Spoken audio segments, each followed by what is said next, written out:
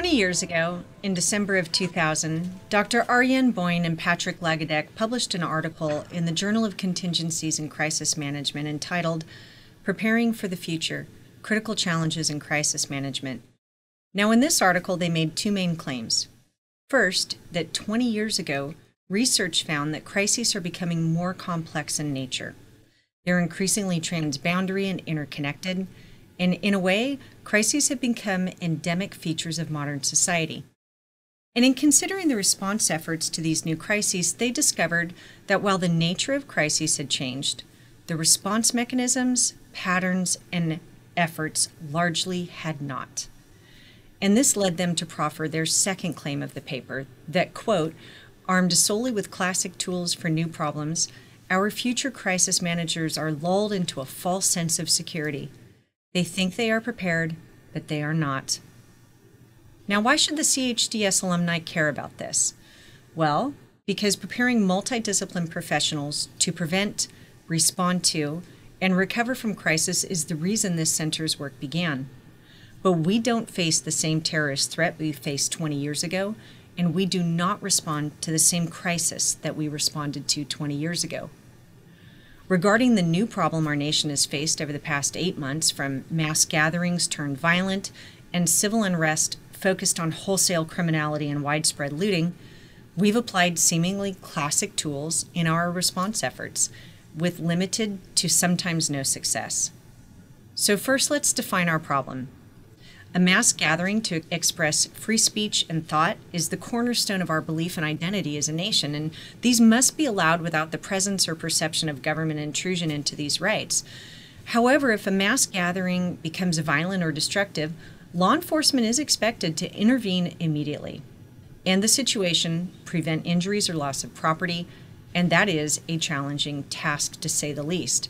But now add into the equation what many cities dealt with nationwide when their law enforcement was engaged with protest activity and highly coordinated mobile groups of people in vans and rental cars flooded their business areas, smashed through plate glass windows, forced open doors, and committed rapid and relentless widespread criminal looting and just wholesale commercial burglary.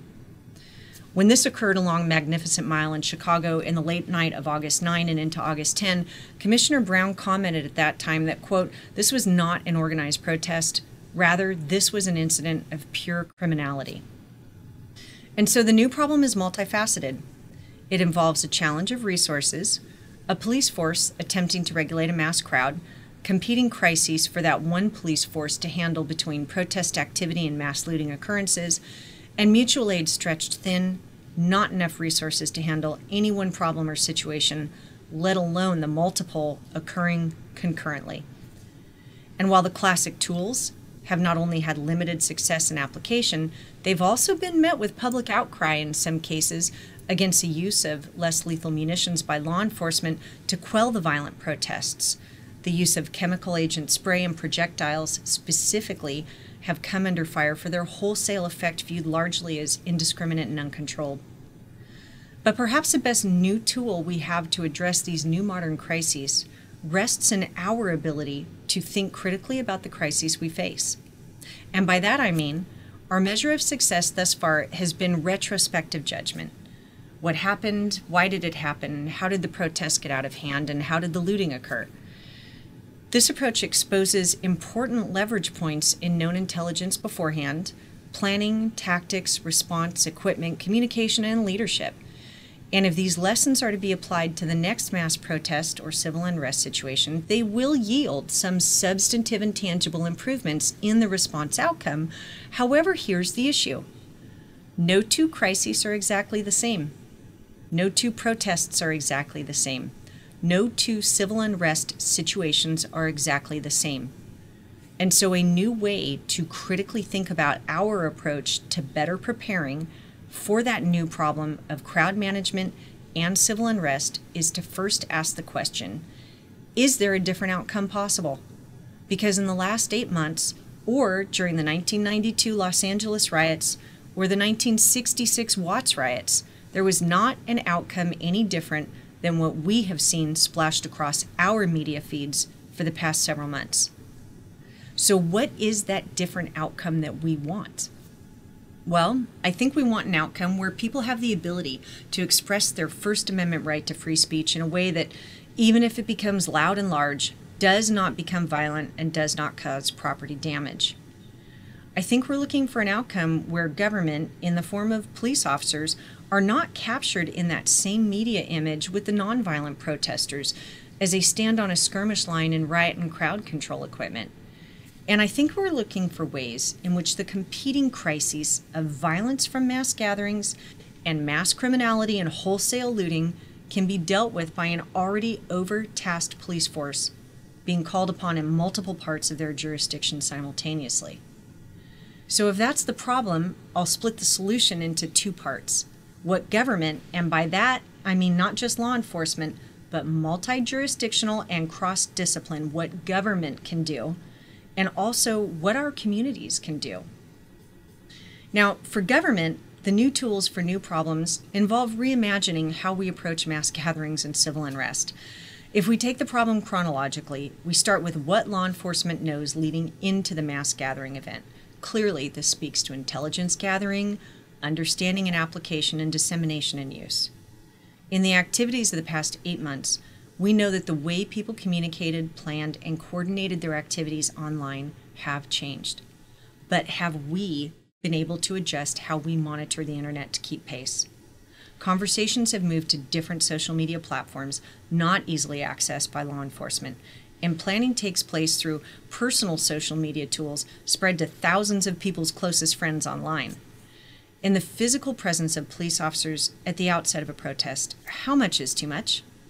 Conventional wisdom used to dictate tactics of a heavy presence as soon as a gathering began, in order to have that ready response should violence break out. But in the past several months, many agencies have been experimenting with having no immediate presence but resources stationed nearby and ready to respond should violence occur.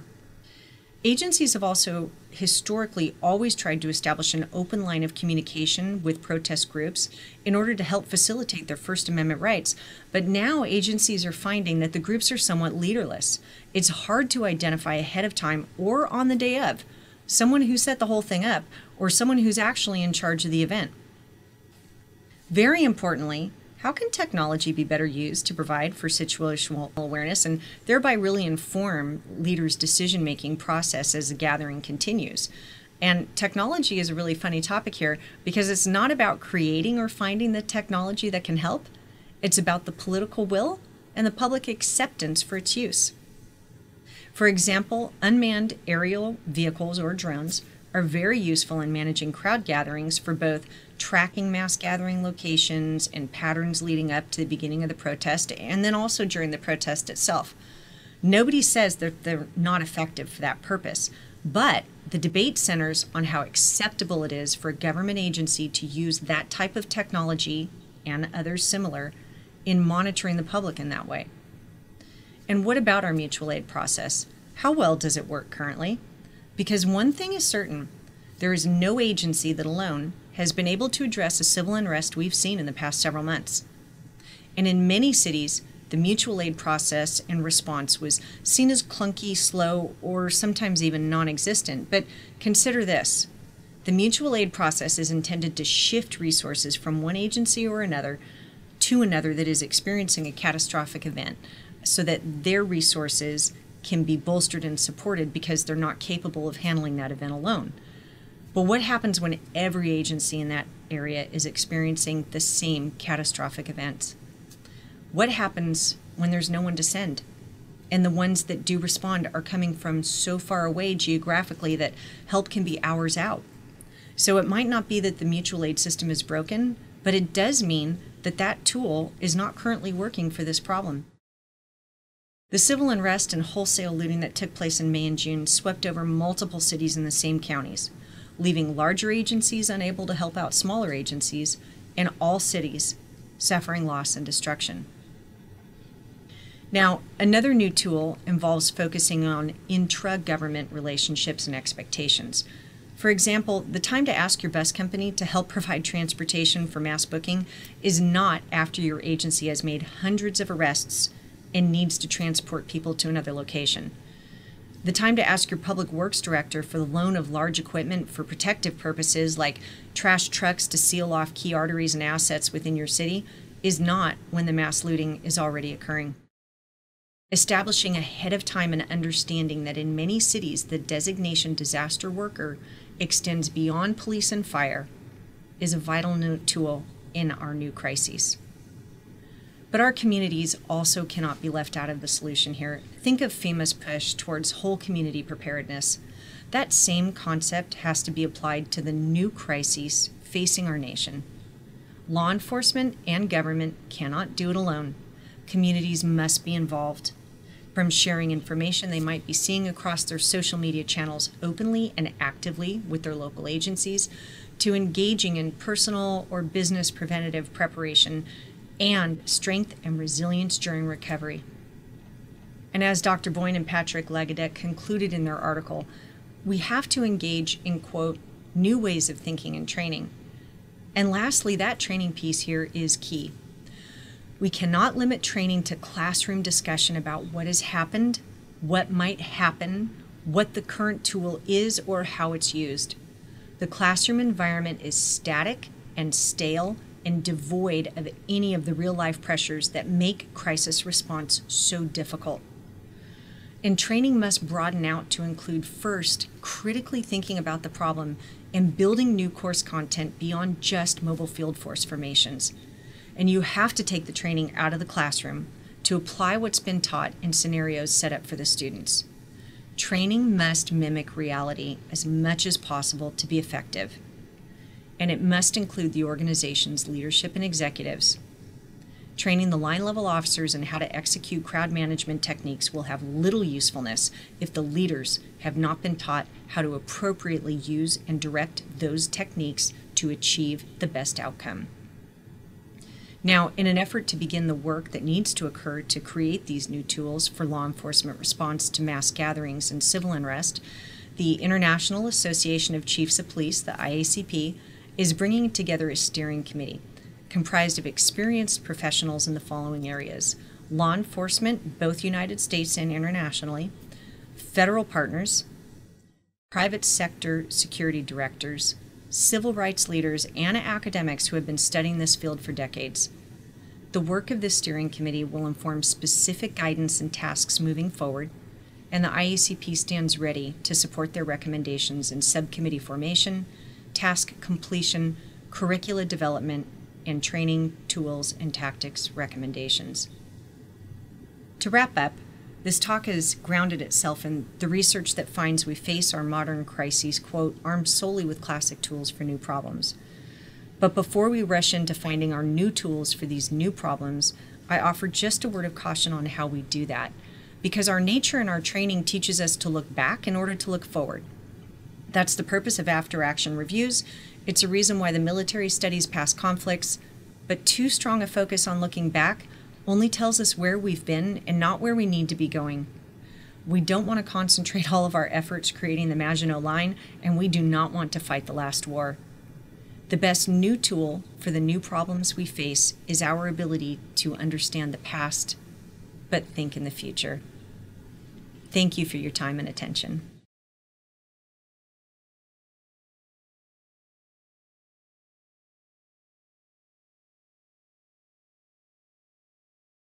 The IACP is a great opportunity to thread a needle and to work in a space that exists in between so many groups and so many uh, associations.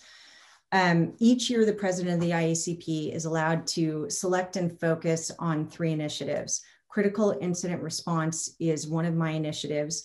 And for those of you who know Dwight Henninger, who is also a graduate of the ELP program here at CHDS, he becomes the president after I do. He and I are very joined on this topic, and he'll continue this into his tenure. But it's important for the IACP to get involved because they have the ability to bring together a broad group of people and then to support the think tank and the work that comes out of it. They have a template for doing this, and they've done it on several issues in the past. And uh, I do think that the work here is going to be productive, in particular through our ability to pull in such a cross discipline section beyond just law enforcement? I think we should start with understanding what we have, to be honest. And for those uh, law enforcement leaders on the phone, uh, I would ask you to take self stock of your own organization and think of the last time that you, as a command officer, went through training that teaches you how to use the mobile field formations that your line level officers are learning. How do you use a skirmish line? When do you push a crowd? Um, how do you use less lethal munitions? We train the line level ad nauseum, um, but I think that the the training for executives has kind of fallen by the wayside. And there's an expectation that just because you have rank in an organization, you know how to do that or you remember how to do it. And uh, it is a high risk, low frequency event, and it is definitely a perishable skill and the executives need to be trained as well. Now, the last thing that I'll say on that coming from California is classes for training executives on how to use mobile field force are kind of few and far between. There are a lot of classes on how to train the officers themselves in squad formations, but few classes on how leaders use those formations to accomplish a purpose with a crowd. The after action reports are still uh, still coming in. There are some good preliminary reports, in particular Walnut Creek and Oakland both did uh, preliminary report outs from from their activities uh, around May 31st, June 1st. But uh, I think we're still seeing several of those after action reports being written. And that's an interesting point because one can feel frustrated by that and say the incident happened so long ago why why isn't more information available when the woolsey fire came through here in california it took a year for an outside independent company to put together the after action report on that um, the incident in santa barbara county where they had a mass gathering uh, turned very violent among their college community that also took a year to put together and I think the reason why there's such a, long timeline is because everybody wants to get out every fact possible. Because um, as we all know, the information that you have when the crisis occurs, even if you're there when it happens from the outset, you're one small view of it, and there are hundreds of other people there. Now, in language of law enforcement, there are hundreds of segments of body worn camera video, of radio traffic, so many different data points that need to be collected. And I think the after action reports are slow and I know the after action reports are slow in coming out because everybody is looking for the fullest account possible so that it is the most correct account possible. There's nothing worse than coming out saying what you know in good faith at the time and then finding out later that that it was something different. So I think uh, in in the in the in the essence of, of looking for truth, these reports are, are fairly slow in coming out. There are some though. I think this goes to the piece in, in my talk about mutual aid. I don't think mutual aid is broken, but I think mutual aid is looking pretty thin right now. Uh, mutual aid for, uh, and I can speak to California, involves local agencies and then goes to the National Guard um, and doesn't really solidify or codify what the resources you just talked about, how they can be brought in, what's the channel for bringing them in, how they would be plugged in, what their mission would be, and how we can integrate together. So when we go back to this new idea of, of training and teaching, part of the training and the thought process needs to, to open up the mutual aid again and broaden it out a little bit so that there is more concrete inclusion and set expectations through policy for the resources that you just mentioned. Um, because I think that there were many other resources available nationwide uh, that were sitting on the sidelines watching on television that could have been brought to bear to help. Um, but then again, I also, once again, going back to the 9 11 Commission report where they, they talked about the failure of imagination, I don't know that any of us imagined what we ended up seeing nationwide May 31st and into June, and then even beyond into July and August. Well, I, I, guess I would say that order order needs to be restored. To the second half of the question about they may not want order restored. Um, That is at a crux what law enforcement is is called upon to do. Um, so order has to be restored. Um, I think the piece in particular about the tools used during crisis and the less lethal munitions, there was a lot of public outcry about pepper spray and some of the less lethal munitions that were used because they were they were seen as indiscriminate. Um, and in every protest, there were violent people and there were peaceful people. And when a tool like pepper spray or, or OC spray is deployed, then everyone in that crowd is impacted and affected. Uh, that is a, a going to be a conversation moving forward nationally, um, and it will go city by city. There are some cities who have already tried to ban and outlaw those types of tools for law enforcement, and there are some cities who have not. Um, but the tools that we use that speak to your question about how does that interdict in, in a populace that might not want you there, that will be definitely be part of the discussion. And actually, I anticipate will end up being a full subcommittee work on just that topic. I cannot overstress the importance of PIOs and the importance of communication during and after a crisis like this. It gets to the heart of trust between government and the community that's being impacted. And it is really an art form on that communication. Uh, and it's not something that somebody can just be thrown into, you know, pick an officer or somebody and put them out in front of the camera. Um, there needs to be strong established relationships ahead of time with the media, constant communication with what you know at the time, um, even with an understanding that um, I think when communities don't want to hear that message uh, because they don't want it, they just want the crises to be over with, that communication real time becomes even more important. Um, so thank you for that. And I've made a note because I don't think in our composition for this steering committee, we included that heavily enough, nor um, uh, vocalized enough to make sure that we understand and that we're communicating out what an important piece PIO and communication is during any crisis. So thank you. I do. Uh, and in particular, I think there are several cities um, that uh, in my city, we made 328 arrests in the span of a few hours. You actually have to transport those people. And if you can't, then they're left sitting in the street with police officers guarding them, which means those police officers now can't be used for the next store that's being looted or the next violence that hap- that's happening. It's a logistical problem, but it is a substantial problem. And to pre think the mutual aid process, to bring in those intra government partners, as I call them, and not just your bus service. I use that as an example, but your public works service. Um, trash trucks are big and heavy. And if you have an influx of people into your city, they're fantastic for blocking an artery, but that needs to be preloaded ahead of time. And so going back to, I don't think the mutual aid process is broken. I think it's skinny and it's bones and it's a skeleton, and we need to put some flesh on it in the form of federal partners, in the form of fellow city and county resources um, in the form of, honestly, our community in the recovery and the resilience phase. Uh, so yes, I, I definitely think that, that they have a part and that that should be included ahead of time and codified.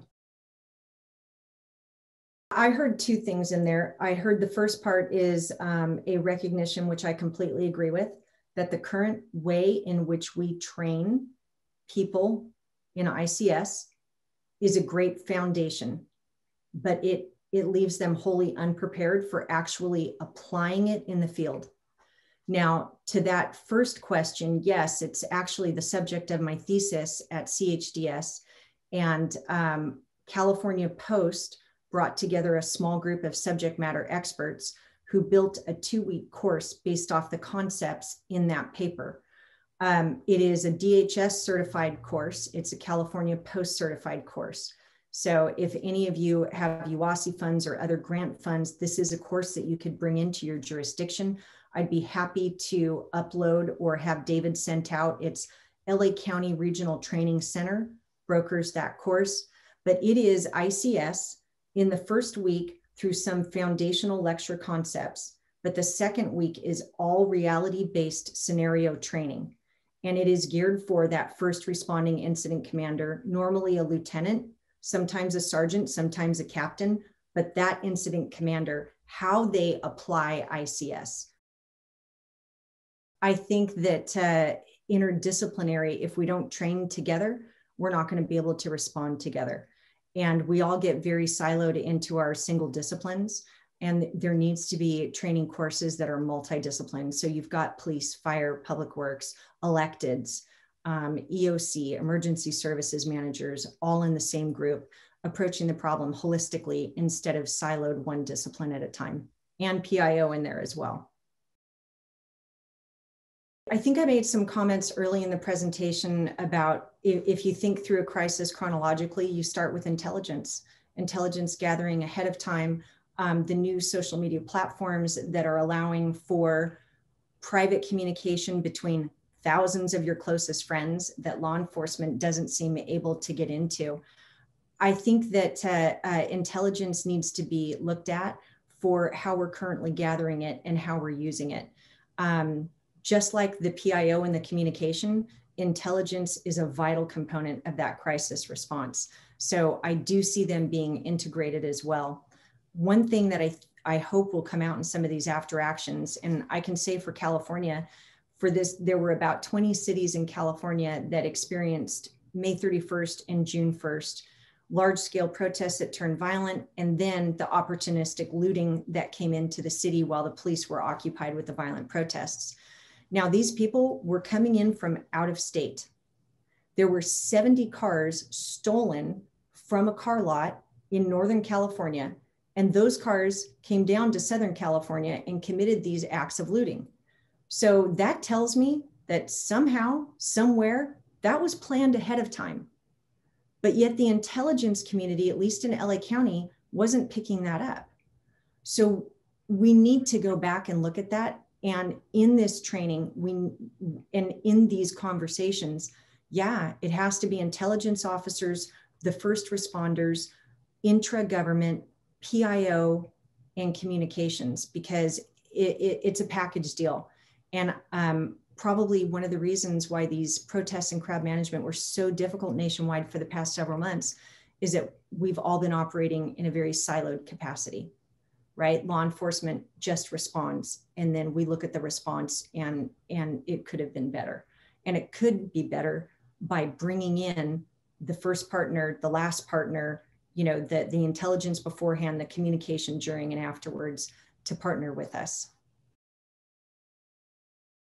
where CHDS can help is I want IACP's work to be evidence based.